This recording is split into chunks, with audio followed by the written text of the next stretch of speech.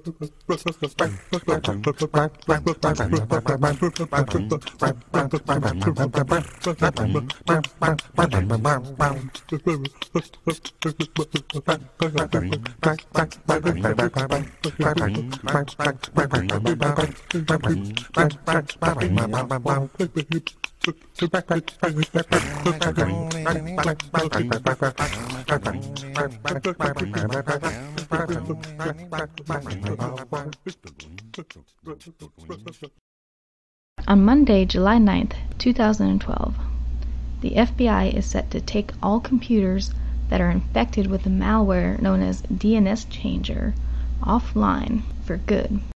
Launched by Estonian cybercriminals, DNS Changer malware infected Windows PCs, Macs, and routers across the world and enabled the crooks to hijack victims' web traffic and reroute it to rigged sites. So basically, what this malware does is when you're surfing on the internet and you go to a certain site, you'll think that you're at that website, like your bank or your PayPal or anywhere.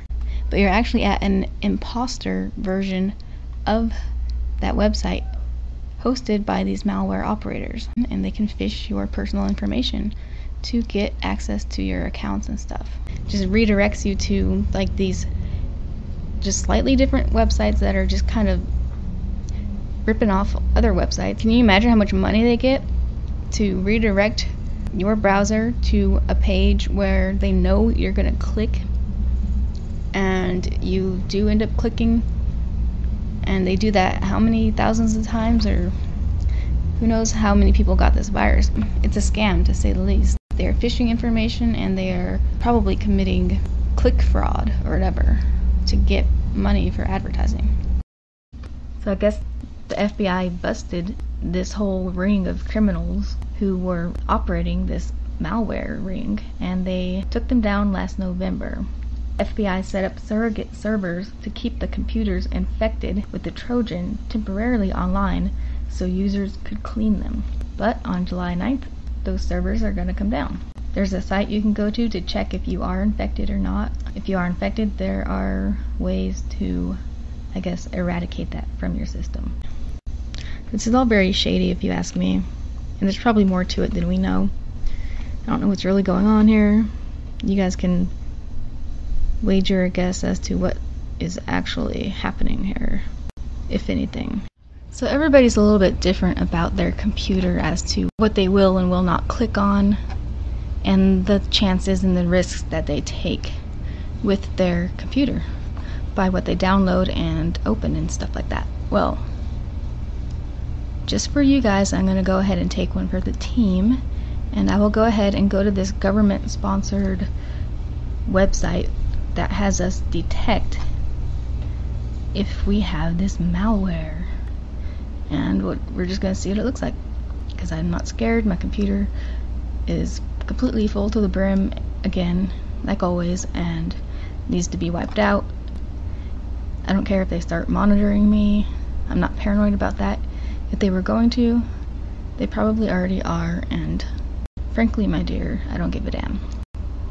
So here goes but you however might feel different about that and you might not want to go to this government sponsored website to have them detect this malware on your system or not. So we're just going to try it. So I guess you just go to this website and it tells you if you're clean or not. Pretty creepy though, fbi.gov.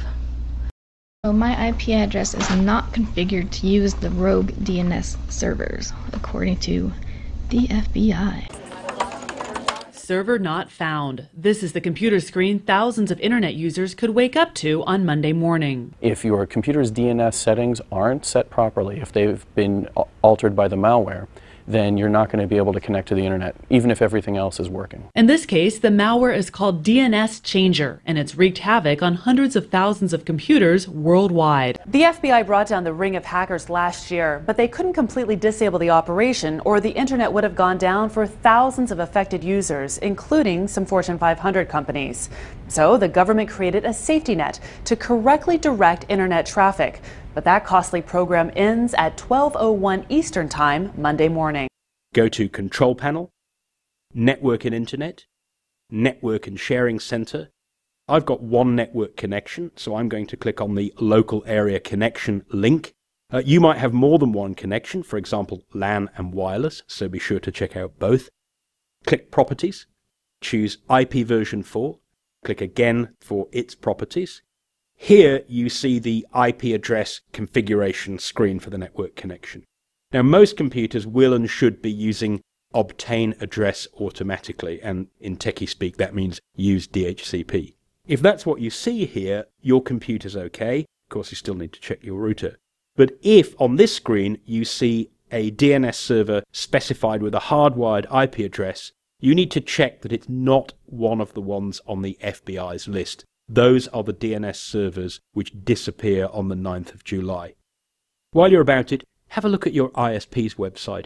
I found my own ISP's official DNS server list pretty easily. Right, that's Windows. Let's have a look at reconfiguring a router. To keep myself vendor agnostic, this router is running OpenWRT. I'm going to log in. And right here on the main summary page, I go down to the section WAN status. And here I can read off the DNS servers that are currently being used by my router.